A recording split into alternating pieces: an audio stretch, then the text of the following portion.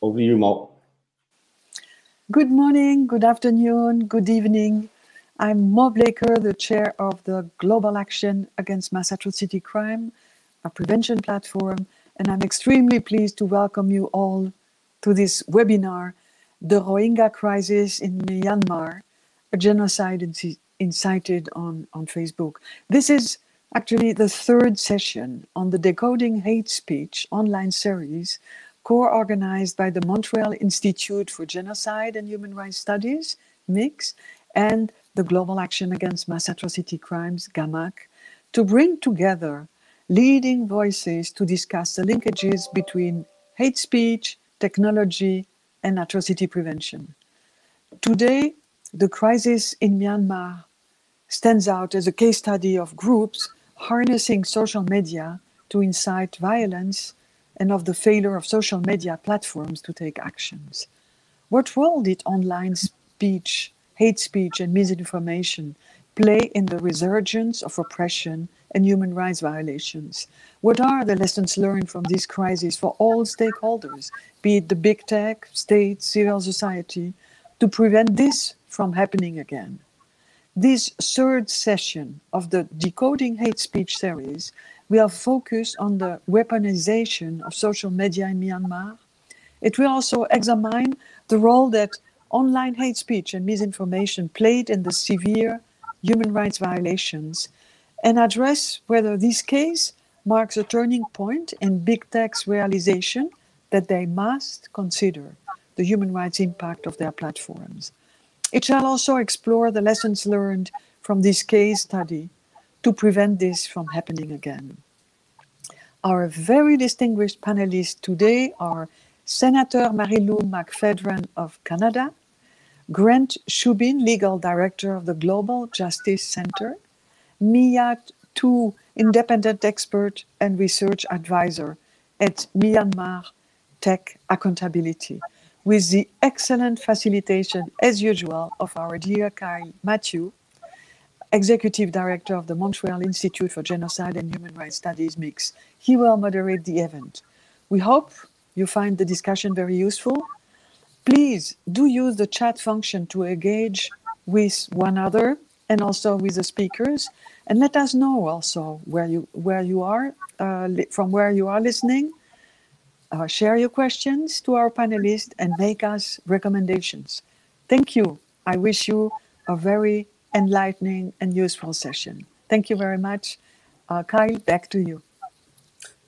Thank you, Mo. Um, Mo, it's always a, a, pleasure to work with you as, as a representative uh, of the Swiss Foreign Ministry and as chair of GAAMAC and your leading role in, in putting together GAAMAC, which is a, a very important international institu institution organization dealing with mass atrocity prevention. So we're very pleased to work with you again and, and thank you for your support in putting the series together. Um, um, the case of the Rohingya, um, the genocide against the Rohingya, the ethnic cleansing of the Rohingya has been one of the most serious cases of mass atrocity crimes that we've seen in contemporary times in the past decade. Um, we've seen over um, upwards of 700,000 Rohingya Muslim civilians that have fled to Bangladesh, um, that are still living in very precarious situations, uh, that are living in very uh, substandard refugee camps that um, whose future is up in the air. And we have also Rohingya Muslims that are that are in parts of uh, Myanmar that still are living under extremely difficult situations. So we thought that this this topic of looking at, at the case of the Rohingya is is is is very important, uh, but it's also very contemporary, and there are lessons learned about what we can do. And I think the real case about this thing today, and our experts are going to delve into, what's the role of the incitement element of genocide? Of mass atrocities. Uh, we do have seen that the incitement component really did take place on Facebook. The Facebook was the internet for the majority of um, Myanmar citizens, and we've also had cases of Buddhist monks using Facebook to incite hate. Um, we've had even uh, government officials engaging on this. So this is a very important topic and, and lessons learned, and it's contemporary. It, it, it, the case is not over. There are still many of us working to try to bring about a resolution to this uh, human rights crisis. So we're very pleased to, today to have three very distinguished speakers. Mo introduced them all. Um, so I won't introduce you, uh, but we're really happy to have you uh, all join us today. And so, how we're going to start off, we have a set of questions I'd like to ask the guests, but first, we're going to ask each guest to make an opening statement. They've all been working on this from different perspectives, from working in Myanmar itself, uh, from working for a, a major global justice uh, think tank and NGO in New York City, and we have Senator McPhedran working at the Canadian Senate, and we know that in Canada there's been a lot of action um, uh, to try to halt the atrocities in Myanmar. So first, I would like to uh, go in the order, starting with Senator McPhedran, and ask Senator McPhedran if you could please, please talk about this issue and, and how you see it through your lens as a as a as a senator in in, in Canada. Kyle, I want to thank you very much for this invitation and just do a sound check. Everybody can hear me okay? Yes. Good. All right. It's a real honor to be on this panel with Mo and Grant and Myat. Thank you. Um, I'd like to make, I guess, a, a primary point as my contribution to starting the discussion. And, and that is that we really have to get serious at understanding the many ways in which there is a far too cozy and codependent relationship between tech giants like Facebook and governments. And we have to, uh, in doing that, as legislators, I would say, one of the things we have to pay attention to, although I am an independent senator with no partisan affiliation, it is very clear if one looks at Facebook in country after country after country, including Myanmar, that in many cases, Facebook and, and uh, government support teams, communication support people in Facebook really become de facto campaign workers.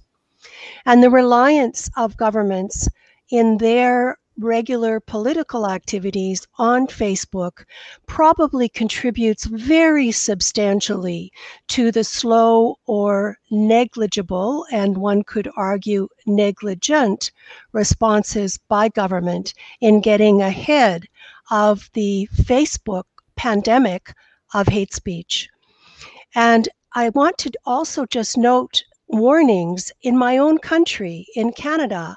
We can go all the way back to 2009 when our privacy commissioner at the time issued a report, called out Facebook specifically for violations, and um, unfortunately didn't proceed any further at that time. So now, 11 years later, we are hearing from government officials in Canada that we need to look more closely at, quote, regulating Facebook, which means we still haven't done it. And the way in which we need to do that is not only to look at the privacy concerns, which are very serious, of Canadians, but to look at the um, fact that there are no boundaries that something that happens in Canada can be uh, perpetrated and expanded in any other country in the world. And that the way in which the regulation, the regulatory powers are within, in many cases, the boundaries of countries, simply don't match the global citizen, global reach reality of tech giants. And on the topic of warnings, I just want to put this in context we heard in 2014 and again in 2015 from the UN High Commissioner for Human Rights, Zeid Al Hussein, that the UN Special Rapporteur at the time, Yanghee Lee, had gone on an official visit to Myanmar and was actively insulted with sexist remarks, undermining the fact that she was there on an official visit, which means she couldn't have been there without the agreement of the government of Myanmar.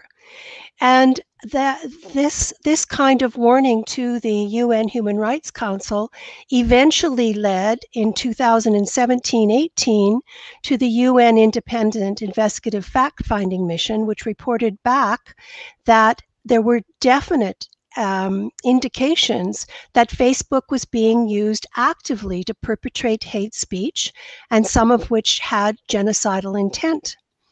Um, but we also know that from speeches and remarks posted on Facebook, that the Tatmadaw commander in chief said very explicitly that the so called attacks, um, and there were certainly some, that generated the massive response, including sexualized violence, um, burnings, horrible, horrible crimes against humanity, were a massive backlash that in no way matched um, what was done on behalf of, of the Rohingya.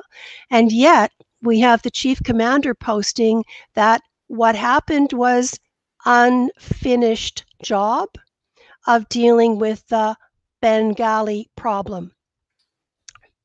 No, no consequences for that.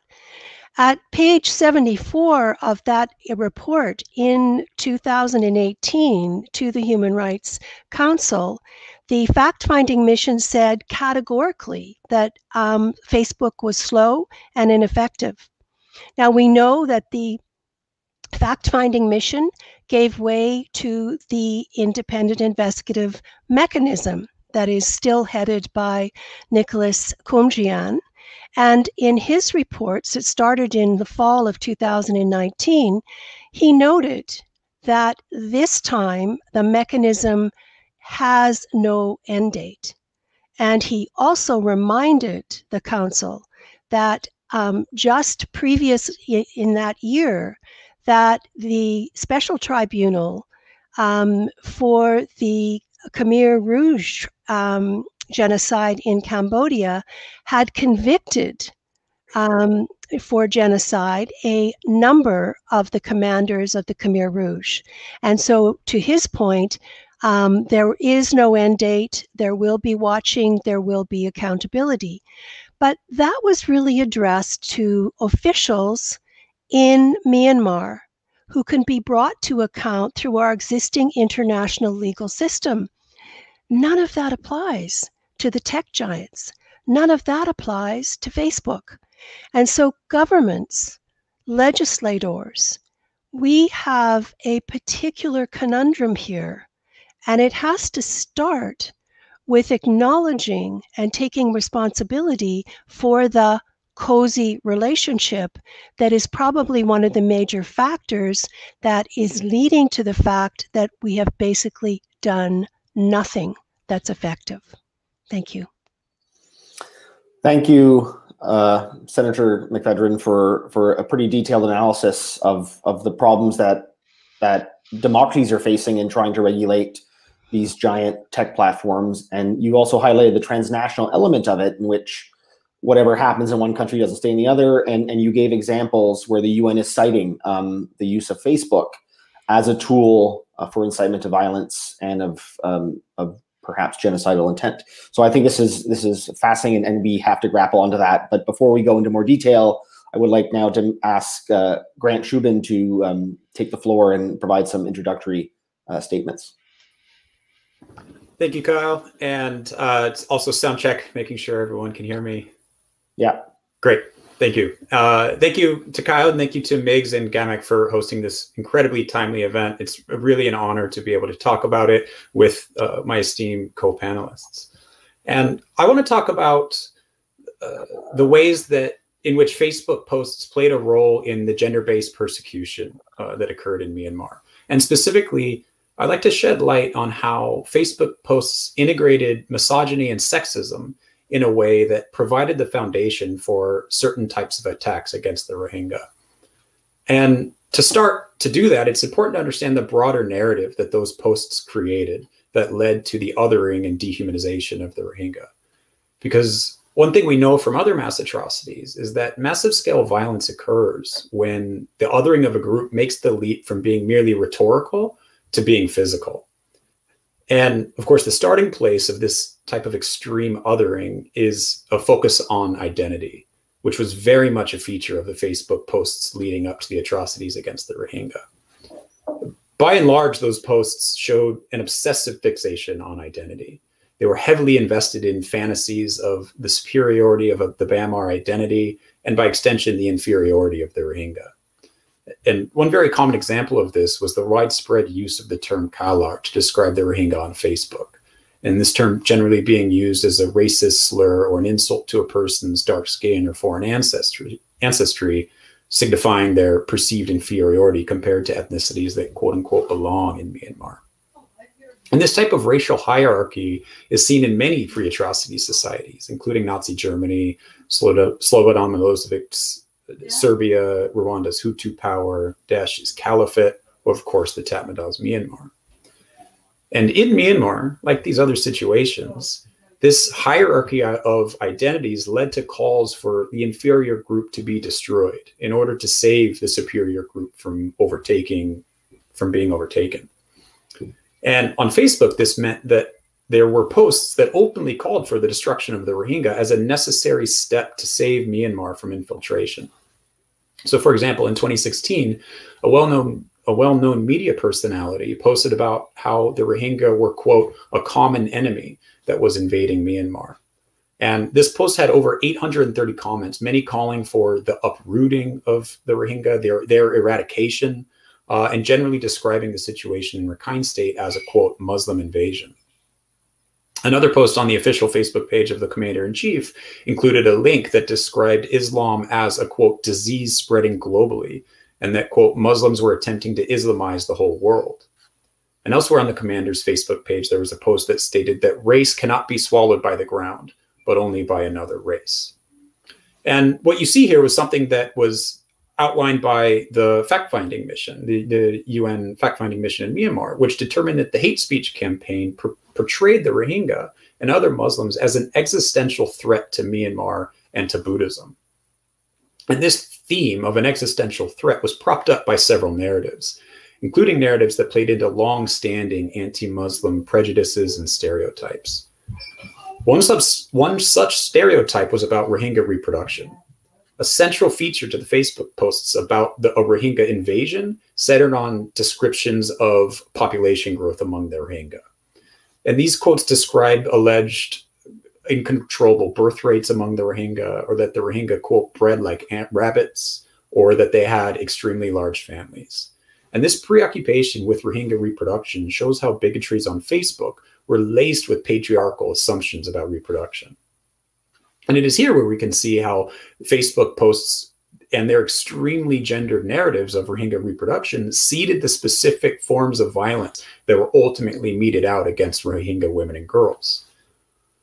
And so, in other words, by defining Rohingya as an enemy that threatened to overpopulate Myanmar, the prevailing hate speech on Facebook provided a framework that made sexual and gender based violence attacks against the Rohingya a consequence of the problem as that hate speech defined it which is to say that the obsession on Rohingya reproduction led to a situation where certain types of violence was expressive of the mission that the mil Myanmar military saw itself completing. Indeed, the massive scale violence and barbarity of the violence carried out against Rohingya women and girls reflected the misogyny of this hate speech, which itself was built upon deeply ingrained and pre existing bigotries. In the so called clearance operations, Myanmar's military targeted women and girls of reproductive age because of their collective and their socially constructed responsibility for Rohingya reproduction. And not only were these women targeted, but they were targeted in a way that responded directly to the gendered implications of an obsession on Rohingya fertility. Specifically, the Myanmar FFM uh, described widespread and systematic selection of women and girls of reproductive age for rape attacks on pregnant women and babies, mutilation of their reproductive organs, physical branding of their bodies by bite marks on their cheeks, necks, or other parts of their body, or so severely injuring these women and girls that they would be unable to have sexual intercourse or unable to have children. And these gendered attacks stand at a crossroads of hatred directed towards the group and misogyny and when committed against women and girls, these attacks were crimes again, again against the Rohingya, but they were also crimes against these individuals on the basis of their sex. And of course, sexual and gender-based violence is by no means unique to the Myanmar situation. And there are lots of examples of misogynistic hate speech fueling gender-based attacks. But what is unique about Myanmar was that much of this gendered hate speech for the first time happened on social media. But what does this all mean? How can this be useful to Facebook or other social media companies that are trying to prevent atrocities in the future? And more than anything, I think it means that a full and gendered understanding of the hate speech precursors to mass atrocities can shed light on what meaningful preventative measures are. And obviously, these measures need to kick in before there's a serious risk of mass atrocities, which requires education on the dangers of identity based politics or fixations on matters of identity in general, it also requires being alert to the devaluation and dehumanization of groups in society that are vulnerable to marginalization. And when it comes to women and girls, uh, it demands identifying and eroding the pre existing structures that tolerate gender based violence and more generally gender equality. Because if pre existing structures of patriarchy and gender domination can contribute to massive scale violence in the way that we see it, saw, have seen in Myanmar, then social media companies must at the very least understand and avoid amplifying posts that promote treatment of human beings as, of human beings as objects and support and incite gender-based violence. Thank you. Thank you, Grant, for um, that detailed analysis of the role of uh, misogyny um, and, and identity and how it occurred online and how it led to um, offline violence. I think it's and, and, particularly about some of the things you mentioned about attacks and and marking and mutilating. We're seeing that in, in a lot of the scholarly work, and we know some Canadians working on this issue. So that's that's very important. And I hope I hope later we can have a discussion also among others about what were some of the problems about Facebook. They didn't have enough Burmese content moderators reading, or that their artificial intelligence or algorithms couldn't detect a lot of the memes and the videos and the cartoons inciting hate, not just words, but other aspects of of Facebook's platform that, that clearly didn't work. So so I think that's fascinating. Thank you. And now I would like to to turn to to Myat Uh, you're in Myanmar. You're you're working with a lot of um, Myanmar activists and tech people. So uh, the floor is yours. And I, I think you also want to try to share a screen. So we're going to hope that we can make that happen. So let me try to share my screen. Uh, share screen.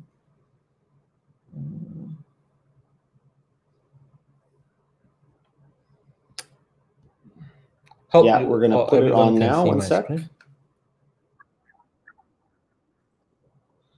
Yes. Yes, I did. Now it's work. So thanks, Kai, for giving me a chance to speak this event, and thanks everyone who are involved in the panel with me. So it's really a powerful insight I hear, hear from you. So uh, before I start uh, talking about the rules of Facebook in, uh, uh, in the genocide, so I would like to start about a little bit background. So you will see my chart. There, there is like I take this from the quest.com. So this is the about the the how to say the the zinc price in Burma uh, before the 2014 the zinc price are more than like a, the more than 1000 so that only a few people have a like a have a chance to get uh, uh, their own communication. So started from like a 20 we are under the uh, military leadership like more than 50 years. So during this period they are really schooling the censorship and we started releasing in 2014 so uh, the we we have a lack of experience about the uh, digital uh, rather than the other country. So there is like a well one like a, we are started using Facebook. The the main challenge that we are facing is everything is really uh, new for us, and also we are thinking uh, all of the things we are seeing on the internet real. And also, like as Kai mentioned, that uh, the Facebook is like a de facto internet in Myanmar. So, so there is like a we are uh, facing the background. So it, before the 2012, it, the, the, to get a, a is really difficult for the each family. So after this 2014, we just started using the SIM a lot, and we started using the internet a lot. So uh, this is like uh, the the the situation of like uh, the developing of the Facebook in Myanmar. So we started most of uh, the urban people started using Facebook around 2012. So in 20, uh, 2012, 2013, and 2014, so there is only one content moderator on Facebook. So in 2014, we have 1 million Facebook user, uh, and there's only one content moderator. So and then these people are based in Dublin, and it's showing like a, he the, the, the these people uh, we don't know who they actually like a, what kind of skill he actually had, and also like a, the the how to say the the about the contextual understanding as well. And in 2014, uh, like uh, during this time, 2012 to 2014, everything is started. The Rakhine, like uh, the situation, the Rakhine crisis is started on 2012 May, in uh, like about the rape case issue, and also the crisis happened northern Rakhine. In 2013, we have a two crisis. One is Middle Burma, Meiktila crisis. There's more than 100 like people are fleeing from their home, and this most of them are staying in the camp. And also the the the conflict is affecting to the Bago region. is next to Yangon, and also the in 2014 uh, uh, we have a crisis in Lashio and Mandalay. The Mandalay crisis is 100% uh, related with Facebook because of Mandalay crisis happened because of the fake news by the monk uh, who are, are, living in Mandalay and he posted about the fake rape case of the uh, Muslim shop owner and Buddhist seller. After that, the crisis happened. Uh, two people died in the crisis, and government started shut down Facebook for one day. After that, Facebook started coming to Myanmar. And in 2015, uh, before the Facebook never came to Myanmar. Uh, and in 2015, Facebook hired four content moderators for Myanmar. In 20, like, uh, and like uh, at the time, we have a, a more than uh, we have around seven million users in 2015. So in 2016, we have 10 million users. In 2017, we have 15 million users. The, the, the of content moderators are the, stay the same. So during this period of time, uh, like uh, there is no clue when we are trying to report something. This like uh, the, the the the the report is going nowhere. Sometimes it's like a letter contest, and it's like a when we trying to report whatever we trying to report is like a it is in they they reply is in line with community standard because of they don't have enough content moderator for this kind of user. So in 2018, around April, the, in April, uh, the civil society organizing the open letter to Facebook, and also the uh, trying to uh, the civil society trying to advocate the U.S. Congress before they he, they make a Congress hearing to the Mark Zuckerberg. And during this Congress hearing, Zuckerberg promised to hire more content moderator for Myanmar, and he started hiring thousands of content moderator. At the end of 2018, this is around like a 99 uh, content moderator who can speak Burmese language. At the time, we have 20 million users. Now we have 27 million Facebook user, and there is more than 160 content moderator we have.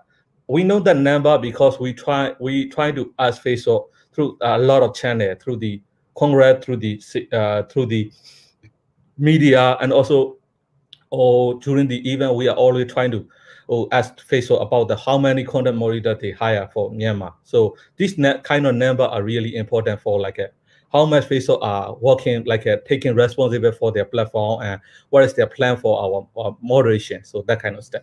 So yeah, this is the timeline we are using Facebook. So before the 2017, when the 2017 uh, happened, uh, like uh, there is like a, a lot of like, uh, incitement posts on Facebook, especially a, like like a pro, to propaganda the the public about the to make a negative propaganda to the public about the Rohingya. So, like, uh, the, but if we want to talk about the propaganda against the Rohingya, we, we should not start around 2012. It's already started since 1970.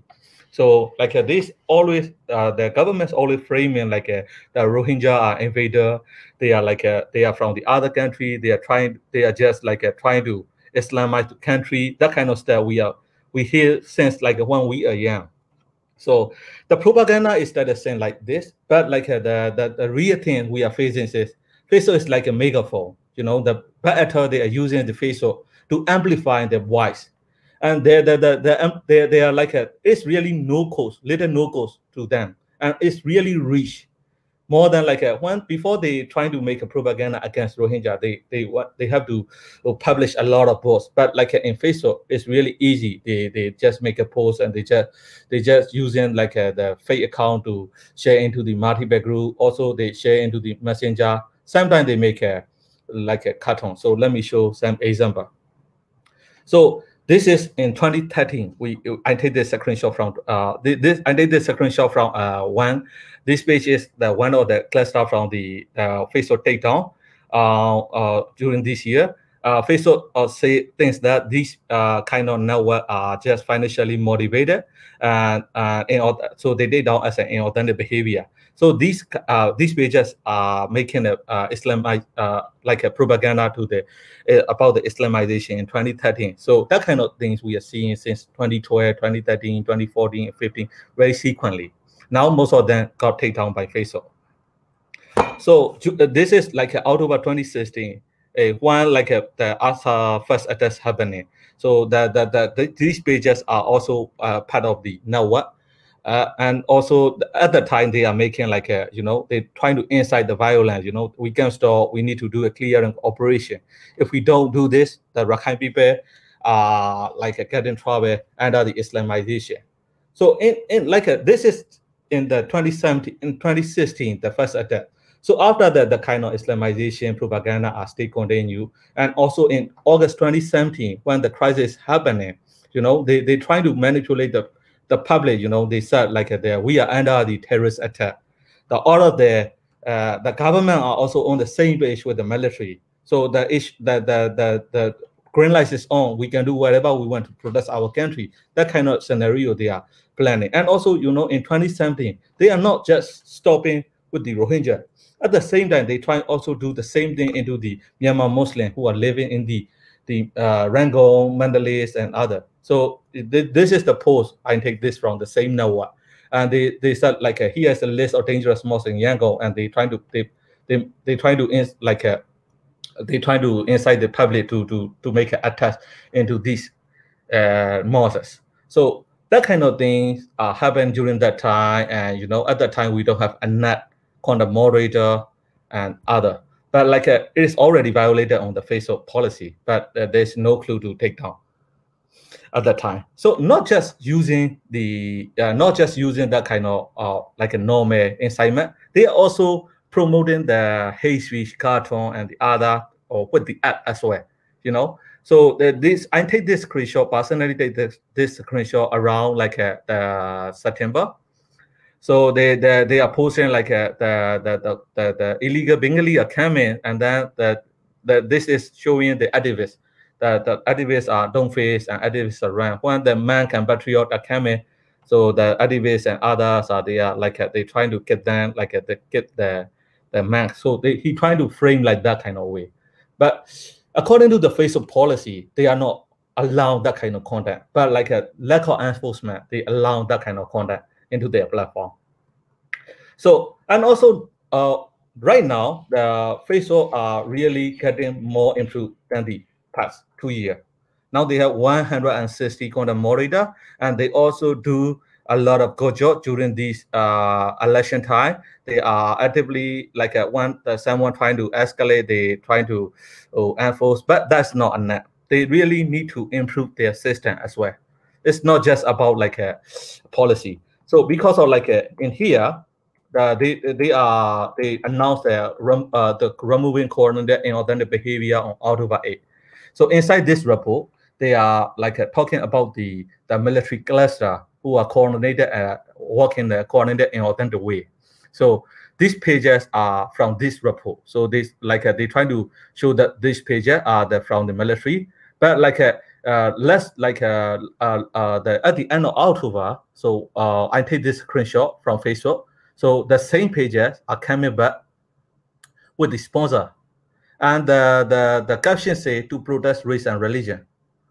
So Facebook is no clue to stop that kind of things. The bad better they can use they they they, they use like uh, the weakness of the Facebook system, they constantly coming back, and also they constantly propaganda whatever Facebook take down. So the, the things Facebook should do is to fix their system, you know, not being manipulated or not being weaponized by bad attack. They definitely need to oh, do that kind of step, not just a policy thing and not just a PR thing. So that kind of thing we, they have to do, and also they definitely need to continue working on investigation because, like uh, the in, in Myanmar, the hate speech is not coming from the individual; it's coming from like a very coordinated way. So the removing one pool is not solving the problem. It's like a, the the the actor they intentionally create that account and they constantly coming back. Whatever Facebook take it down or not, they constantly coming back. And then like a Facebook just removing one post by one post and one post, and you know that the crisis happen. So that kind of stuff we are facing. Yeah, so I would like to share about that kind of stuff, and I am uh, I I'm happy to get your feedback and answer. Yeah, thank you. Thank you, Myat, for that detailed conversation. Um, I think three things stood out for me in your comments. One is that you you mentioned some of the propaganda uh, or or hate against um, the Rohingya didn't just start this decade. It, it, it has a longer history. Um, yeah. I think that's important to put that into context. But you yeah. also highlighted that you know Myanmar was a closed society for quite some time, and and what we've seen with the sale of these SIM cards, you see an explosion of citizens being able to access outside information. And yeah. you also highlighted um, how Facebook went from one million to 27 million users with a very small amount of content moderators, which shows that the program. And I, and I, I, one last point before we go to the next questions. My colleagues and I, we we we did a report for Global Affairs Canada on online hate and artificial intelligence, and we found in Myanmar that a lot of Facebook's algorithms were deleting video evidence of atrocities against the Rohingya because their algorithms thought that they were inciting hate speech, but they were human rights activists getting digital information for eventual prosecution or to bring it to uh, the International Court of Justice. So clearly, there are some issues of platform governance around Facebook that we can take lessons from uh, from the Myanmar case. Definitely. Um, I would now. Um, I have a few questions. I know there's questions in the audience, but I'm going to pose each of our panelists, starting with um, Senator McPhedran. A senator, um, in September, you wrote that you would be boycotting Facebook in solidarity with the global network of women's peace builders for allowing online hate that can lead to offline violence. You also gave an extensive list of Facebook's inactions in other countries. In your view, what can Canada and other states do specifically to push social media companies to regulate content of their platforms?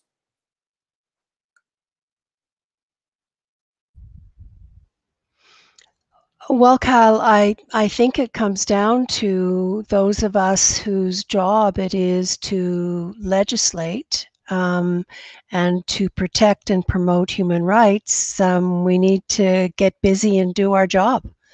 Um, we're lacking a regulatory framework that seems to have any effectiveness whatsoever, even in a privileged democracy like Canada and the ways in which we are, as a country, trying to address the genocide in Myanmar um, includes direct um, international development, extensive international development funding that is consistent with our feminist foreign policy. It includes a commitment for us to intervene in the um, International Court of Justice case that's ongoing, where the Gambia has challenged Myanmar under the Genocide Convention. There are um, a number of ways in which we have already taken action. Um, our government has taken action, and um, none of them at this point have actually really tackled the reality of tech giants and the way in which social media is entwined completely in our political system. And I, I think that it, it really does come down to that, that um, parliamentarians in Canada have to move this up the priority list. The last time um, based on on my search, and I I stand to be corrected, but my search uh, for statements by cabinet ministers in the Canadian government that something was going to be done goes all the way back to early 2019. Um, and and it's it's now uh, November of 2020. So we've got a, a gap in terms of responsiveness, and um, we as parliamentarians need to move that up and Thank close you, that gap. Uh, Senator McPhedran. Um, I know that Migs is willing to work with you to help push this agenda. We've worked with the All Party Parliamentary Group for the Prevention of Genocide um, and put out a report on the role of technology in atrocity prevention. And there were some of these elements, and and where we really think it has to be put up to the um, to a higher level. So um, so we really appreciate your comments. Um, I would like to ask Grant uh, now. Um, Grant, the rise of the internet has led to new challenges in terms of hate speech and violent extremism, exacerbating the gender roles and gender power dynamics. How should national and international laws respond to these new problems, in particular in addressing masculinities to counter violent extremism? Sorry, masculinities of violent to counter violent extremism. Sure. Uh, I think that you know, I it, it, the international framework in in international human rights treaties, specifically looking at CEDAW, are pretty robust and sophisticated in articulating the ways in which uh, national governments, national jurisdictions, uh, local jurisdictions can begin to approach this issue. And I think that the the way that they that CEDAW and and other human rights bodies recommend that this happen is by affecting more generally gender equality. And by doing that, both as a matter of policy, but also by integrating it into certain of a country's legal framework. And looking specifically at, at Myanmar, I think that that can happen in any number of ways. Uh, the most obvious of which is to update certain aspects of Myanmar's broader legal framework to reflect uh, uh, gender equality more holistically as it's understood in 2020. And specifically, that can be by uh, passing uh, a prevention of violence against women law, which has been uh, in, in the parliament for some time. As it exists now, uh, the Myanmar criminal Myanmar's criminal code goes back, I believe, I, to the mid 1800s. I can't I can't remember the specific year, but it's a it's a um, a vestige of the colonial UK law, and it goes back to that. And many of the uh, specific uh, uh, articles in that law read as if they come from the 1800s, uh, specifically relating to uh, certain crimes of sexual violence, and more generally speaking to gender roles that uh, existed at the time. And it's time for national governments specifically for Myanmar, to begin to shed those gender roles to, to reflect uh, gender equality and an understanding of uh, of the equality of women and men and of sexual people of diverse sexual orientations and gender identities as we understand it uh, in 2020. And I think by doing this omnibus review of of policy and specifically of legislation, you can begin to affect gender equality. And by affecting gender equality, you can then begin to erode the, the pressures put on uh, people who are want to to uh, subscribe to a violent extremist ideology uh, and you can begin to reduce those pressures uh, uh, on the society. Thank you. Kyle, could yeah. I jump in and just add an, an, an additional point please, to please the do. very the very good points that, that Grant just raised. And again, I'm speaking more from a, a governmental perspective.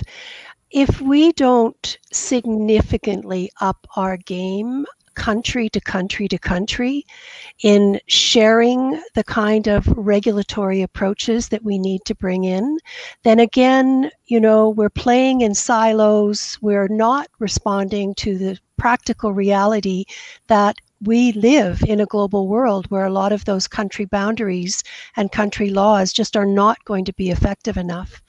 And the other point I wanted to make, building on, on Grant's point, and also what Myat brought to our discussion in a, his excellent presentation, is that there are many human rights activists in Myanmar. Um, and some are in Myanmar, some have had to flee Myanmar, but those that are still in Myanmar and are not necessarily of a, a minority group are also very much at risk. And a number of our countries, certainly Canada, we are funding through our feminist foreign policy international development a number of Canadian NGOs and agencies that are working to support the promotion of human rights inside Myanmar to try and undo some of the hugely anti democratic um, influences of, in particular, the military. And this is a whole area that I think um, we can look at more closely. How is it that we can better support the kind of protection and regulation that's needed inside Myanmar as countermeasures for the hugely inappropriate use and exploitation um, by the dominant Tatmadaw and, and other dominant players in Myanmar society. Thank you. Thank you, Senator. So I'd like to um, Myat will probably want to to respond to that, but I'm going to ask Myat also another question. You can answer both or just one. it's up to you. But um, you, I'd like to ask you, you know, how has Facebook responded to the gaps that have been identified, and have you seen any results recently? Um, particularly, I know we just had elections in Myanmar. H- have you seen any changes to the gaps in Facebook's uh, program, and, and is it getting worse or getting better? Facebook is getting better now. When we like compare with 2017 and 2018 and right now, the, the, situation is completely different. In 2017 and 2018, they are not really interested whatever we say and whatever we trying to rise to to face the problem. Right now is they are uh, becoming better. So like a like a like a now we are facing the the same issue we are facing in Facebook in 2018 uh, around 2017 18 is we are facing the same with the YouTube and TikTok, especially the YouTube. So now now better they are moving YouTube for their propaganda. So uh, like their their hosted platform is YouTube is now becoming like their hosted platform for the hate speech and also the military propaganda and the like uh, also the propaganda against genocide to the Rohingya. So that kind of things are moving to Facebook. So now our we are uh, facing a problem with Facebook to uh, face, face facing with the problem with the YouTube. And uh, yes, we uh, we are really huge, uh, facing a huge challenges how to, to like uh, how to make YouTube more responsible and accountable accountable for their platform and to make an enforcement uh, about their to make an enforcement for their platform being better for the our community. So yes, so now what I can say now is uh, Facebook uh, like the saturation is becoming the Facebook saturation is becoming better than the past, but they still need to improve, especially on the uh, systematic. Like uh, now they are like uh, the reviewing system, especially their enforcement are not really doing enough, so they are still missing a lot of a lot of things. So they really need to improve, especially uh, on the con- uh, contextual level, understanding level. They have to improve as well, not just a uh, uh, like a product and the other. So uh, uh, the, if I, uh, I like the, the the question from the senator is I like a, the about like a how like the international community can do better for Myanmar, right? Is that correct or hello? Yes. Yeah. So yes, the the yeah the, the lack of now we are facing the the, the lack of democratic value uh, is happening across the country. So like uh, the in during this election, the, the all of the party uh, and also the party supporter, they are using the hate speech against the Rohingya uh, to to get uh, the uh, to gain the political support from the public. So they are use like uh, they like uh, the USDP supporter. They say like uh, the the NLD is a Muslim and party. They are promoting the Rohingya. Uh, they, they, use the word Bengali. They are promoting their Bengali body, that kind of stuff. And also the NLD supporter. They are using the photo of the Muslim uh the Muslim uh, USDP member, and they said like uh, the the NLD is not a pro-Muslim. The uh, just the the the USDP is the Bengali party, that they are the pro-Muslim party, that kind of stuff. It's not just these two party, but also like the new party, the PPP, People Pioneer Party. They are also using the same narrative. To uh, they, they they are promoting the uh, anti-Rohingya narrative as an official for their to get uh, to gain the political support from the public. So that kind of stuff we are facing.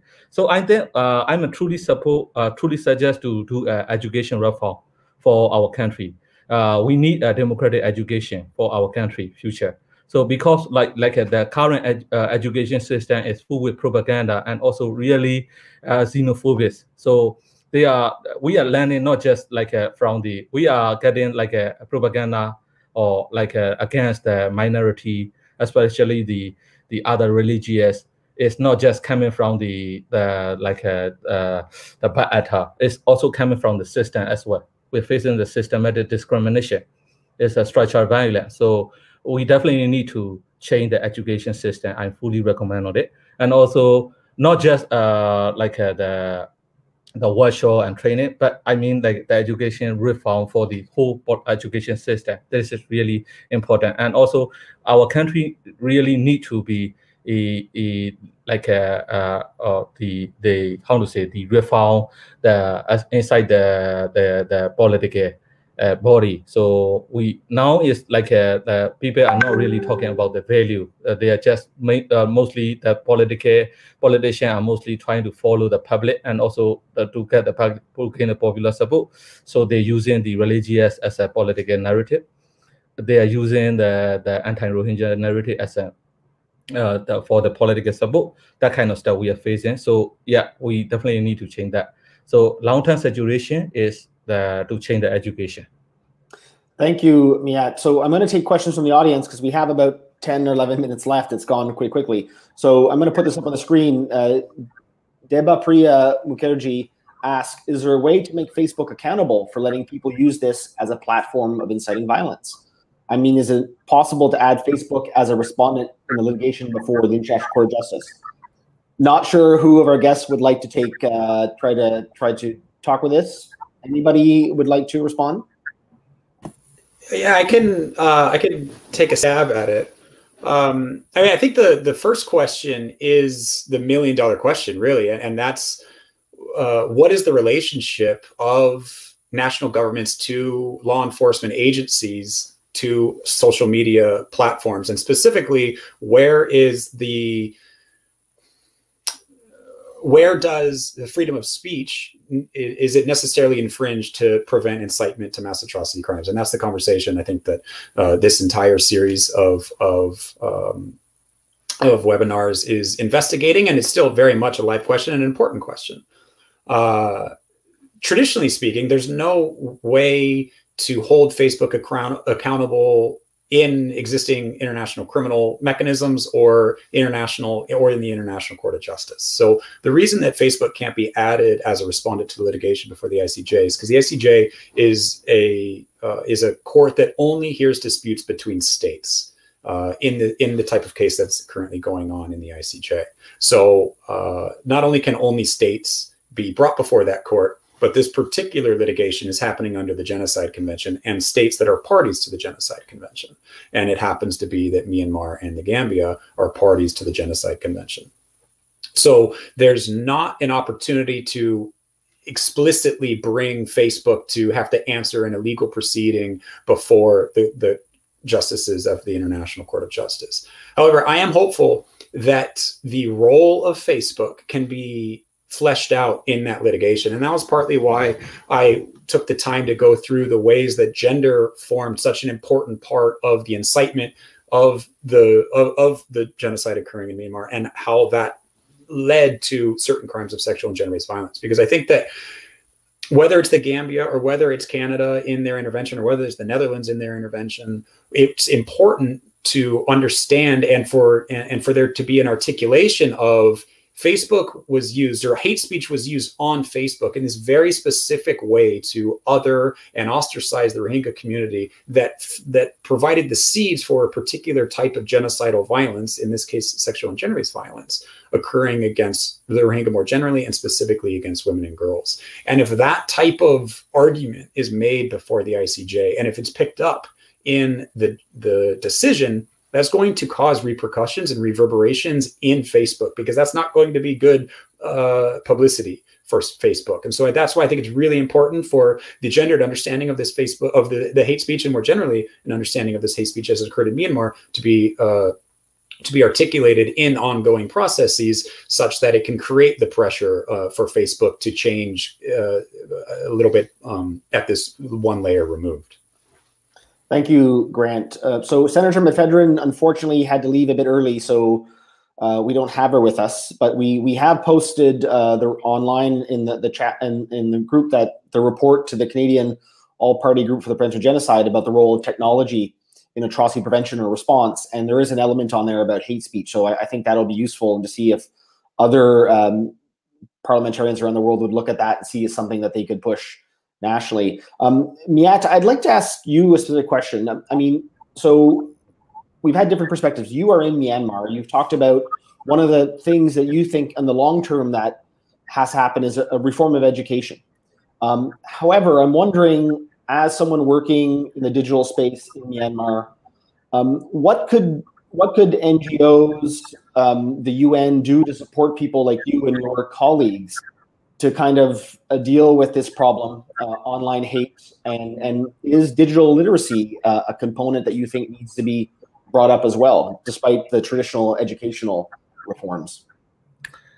Yes, we we need uh, like a, that kind of digital literacy, but also that that uh, the re, uh, the re, the important most important thing from what I'm thinking the most important thing is not just uh, digital literacy, and the other is media literacy is like a, the long term solution. But right now, what we are facing is the crisis is ongoing. The, the, the bad actor, they are using the platform and then really well known about the platform and how to trick and how to cheat the platform. So the problem is the platform need to uh, invest for their like uh, to to enforcement, not just about the policy level. So that kind of thing we are really needed, and also uh, not just like one platform. Now it's like a, we are facing a multi-platform issue. Uh, the advocacy to Facebook is not just enough. We definitely need to do the, the, the like uh, if we want to solve the problem of hate speech, we definitely need to uh, ask the help from the like uh, we definitely need like uh, other platform like YouTube and TikTok. They also need to enforce their platform for to be to become a like a uh, to become a using a weaponized the not stop being weaponized by the predator. So that kind of stuff, uh, I think we are uh, we think that is really important thing. And also, yeah, we also need a digital literacy and also the media literacy program for the whole country. And that kind of things are also should involve in, as the primary, uh, uh, like at the high school level, not just uh, uh, the advanced uh, tech uh, advanced thing. So that is like my recommendation for the international community to to to to to do more, or how to say, pressure on the tech company to to to how to say to invest more on the high risk area like our country and the other. So they definitely need, if the, the tech company are lack of context, lack of uh, the context about the country and also lack of investment for the enforcement, that is really harm. So that that the, the, thing we facing in Facebook in 2017 is the same. You know, Facebook never care about the country. So they didn't like uh, we are small amount of group and also we are small amount of user and uh, we don't need the special treatment, but like uh, we are facing the ongoing genocide. So like uh, that kind of lack of investment are really harm to the uh, the uh, our community and also we are facing the same on the YouTube and they also need to change. So yeah, I think like an international community need to like how to say as like a tech company to take more responsibility for their platform and also to uh, to to do more on their enforcement and uh, especially like investigation. Thank you, Myat. So we've almost come to the end, um, and we have Zulma uh, Patarroyo, who's in Colombia, who's going to join us and show a graphic design of some of the discussions. So I'm going to invite Zulma to come on in a minute. Um, I would just maybe like to take this uh, moment to thank Myat, to thank Grant, to thank Senator McPhedran for taking time to share uh, your knowledge and your views on this. Um, we're really, I think, on behalf of GAAMAC and MIGS, um, just want to say thank you. Uh, we hope to collaborate. Uh, and I'd like to tell the audience that also an important development is that the United Nations, both the Office of, of the um, Special Advisor for the Prevention of Genocide um, and the and the High Commit and the and the Secretary General have issued a UN framework for hate speech. Um, and there's a significant component on that that's also on the digital side. So I think there's a way for civil society organizations, governments to work with the UN in trying to operationalize this framework um, so that we'll see less of this hate online that is increasingly the way of the future. Um, so with that to do, I would like to ask um, Zulma, we're going to invite Zulma to the stream.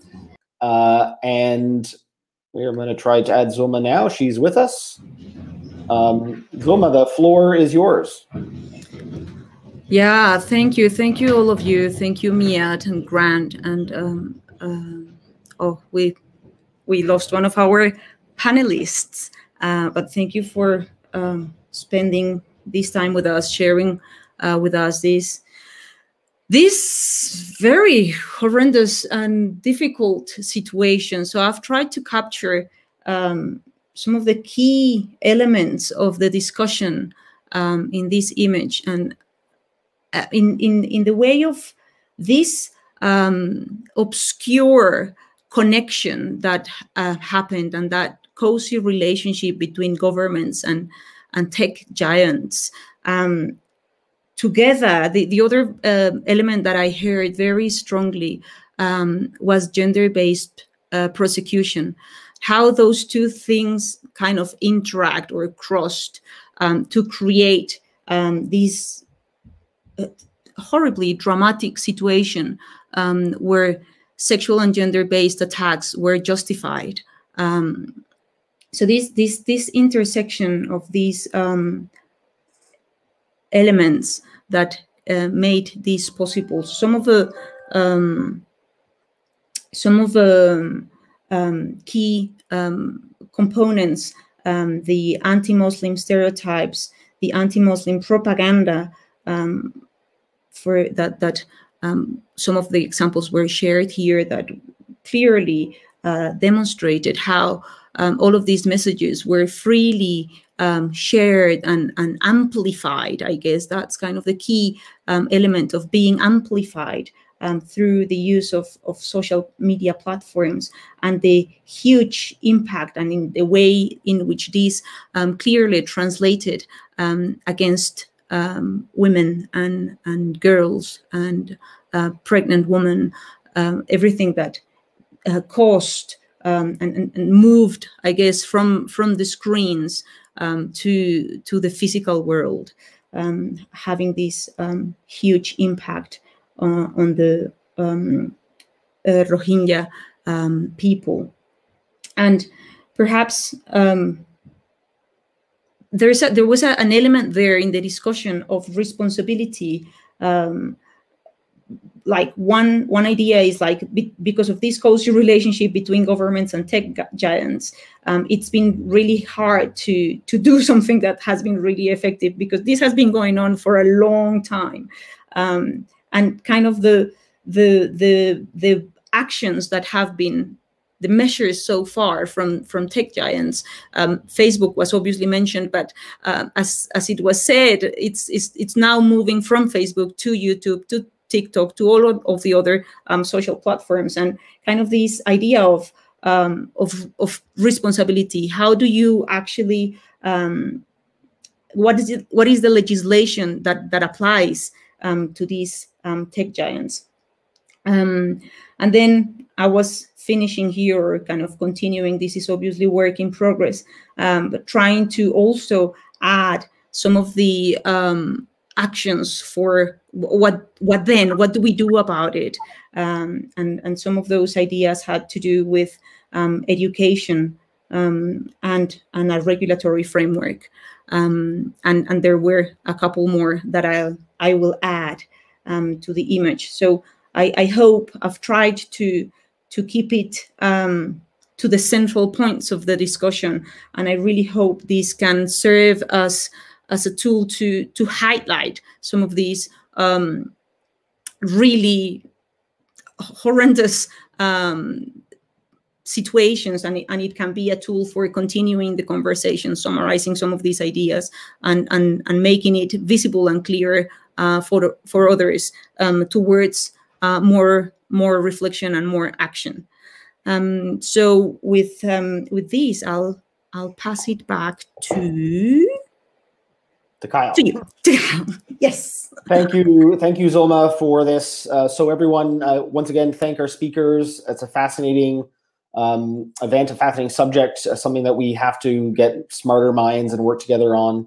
Um, I think um, just to let you know that uh, this is the third of a fourth session on hate speech that Migs is doing with GAAMAC. Um, we're going to organize one final one. I believe it's on December 8th. Um, and uh, we're going to have a bunch of GAAMAC partners talk about what practically can be done um, now and into the future. And this is all part of the series is to lead up to GAAMAC, to, to GAAMAC's uh, major um, conference on hate speech that's set to take place in 2021 in The Hague. So, so this is a, the beginning of something. Um, it's not just theoretical. It's it's leading to more collaboration with GAAMAC's partners and other um, other like-minded states, tech companies, and so forth. Um, so I just want to thank everyone. We're going to post uh, uh, Zulma's um, graphic online in a in a few days. We're going to post the video, so please share with your colleagues. And please get in touch with GAAMAC and Migs. I mean, GAAMAC's working on these issues. Migs, we've been working on on the digital side and hate. So we would love to continue this conversation long after this event and collaborate. So thank you very much.